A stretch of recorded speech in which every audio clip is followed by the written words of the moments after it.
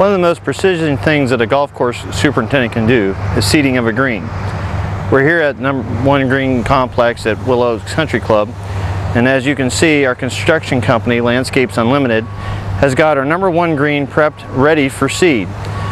All the depths of the seed has, or the sand has been checked for accuracy and they've actually floated or spun the green in preparation for us to seed it. Uh, we're in the process right now of putting in pre-amendments prior to seeding and uh, you'll see a little bit of this as Jordan Booth, my assistant, and Emilio Castillo uh, will be applying these products in preparation for seed. As you can see, Emilio is spreading uh, products on the green as a pre-plant. It's very important for people to understand uh, you must calibrate your spreader and do correct applications with your materials to ensure adequate coverage. Oftentimes a homeowner will go out, look at a bag setting, put it in a spreader, go out and spread his lawn and get an inaccurate application. Oftentimes you'll see checkerboard uh, looks in people's lawns where it's a dark green stripe than a light green stripe. It's very important that your overlap is correct.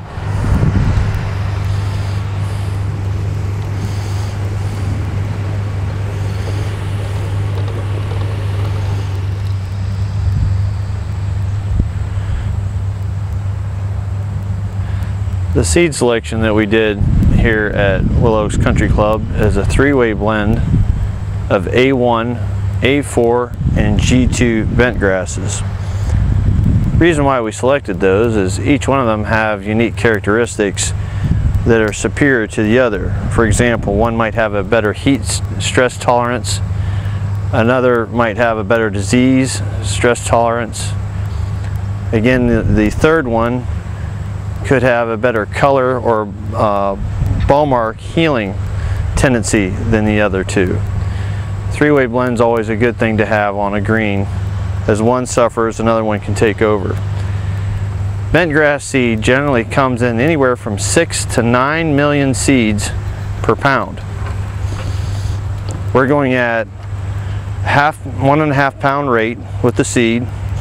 Our spreader is set at three quarters of a pound so we'll actually go over this green in two directions, three quarters of a pound plus three quarters of a pound for a total of one and a half pounds of bent grass seed per thousand square foot of green. We're doing our cleanup laps right now on the green. Once Jordan has made those cleanup laps, we'll go ahead and make a X or diamond pattern on the green, two directions, applying the seed again at three quarters of a pound in each direction.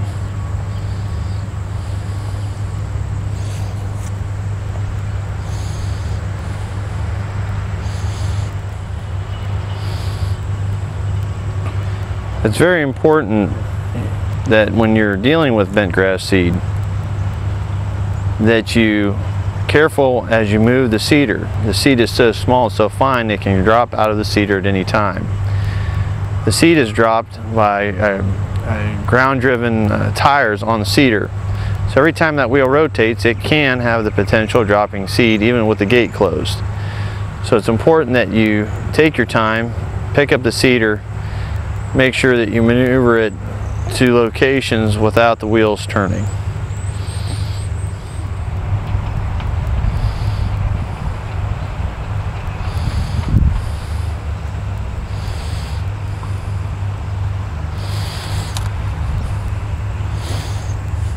Jordan and Emilio have now finished the seeding on the green.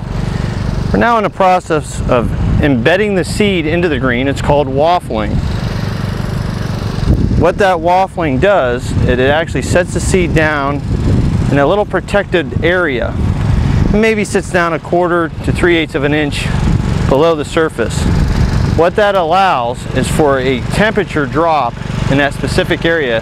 One to two degrees doesn't sound like much, but it might be all that it needs for that seed to pop. It also will retain water a little bit longer than just a flat surface. It all also inhibit wind and other uh, outside forces from removing the seed from the surface of the green. It takes quite a while for, uh, in this case, a, a, a, sand rake or sand pro to impress the seed into the, the green. We found this one of the most successful ways of ensuring that the seed stays in place. We're at number 11 green, and this will give you more uh, of a clearer picture of what we were doing on number one with the embedding of the seed or setting into the seed. Oftentimes it's called waffling in the seed into the surface of the green. As you look across this green, we've inset all the seed. It doesn't sound like much, but, but by embedding the bent grass seed on the surface, you create little cavities or pockets for that seed to nestle down in. The surface temperature might be one to two degrees lower in those areas. They also will retain water and moisture a little bit longer. This is number four green, and this green was seeded 22 days ago.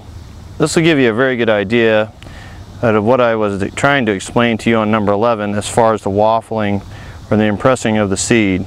If you look on the, the surface of the green, you're going to see little green squares all through here and across the green. And again, that gives you the idea of why it's important to embed the seed into the green. Just that little bit of difference in temperature and moisture has allowed this bent grass to germinate. It's allowed it to pop up and it's lush and green across the surface. Generally, it takes approximately seven to nine days for bent grass to germinate we had germination within three days, which is pretty amazing. Uh, again, it's very encouraging to see the amount of growth that we've got. With proper watering techniques and fertility, we'll hopefully mow this in another two weeks.